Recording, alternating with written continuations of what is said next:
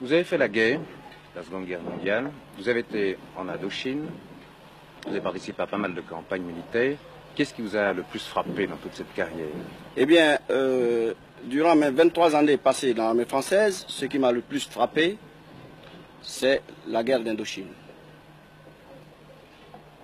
Qui n'est pas du tout comme toutes les guerres dont on peut en avoir à parler. Est-ce qu'on peut dire que c'est là que vous avez connu les Chinois Ah ben c'est là que je connais parfaitement les Chinois.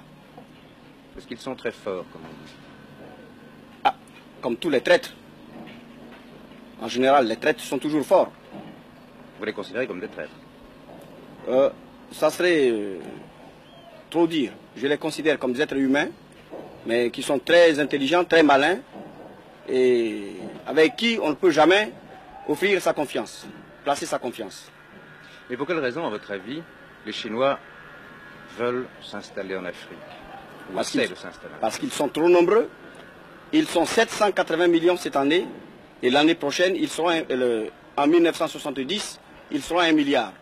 Donc il leur, il leur faut de terre pour s'installer. Vous pensez que les Chinois sont un réel danger pour l'Afrique? À mon avis, un véritable danger. Plus que jamais. Plus dangereux que la bombe atomique. Parce que très souvent, les Chinois ont des arguments, des arguments un peu raciaux. Ils disent euh, aux Africains, nous sommes, vous et nous, Chinois, des gens de couleur. Est-ce que ça n'est pas un argument qui a une portée? Vous voulez que je vous dise une chose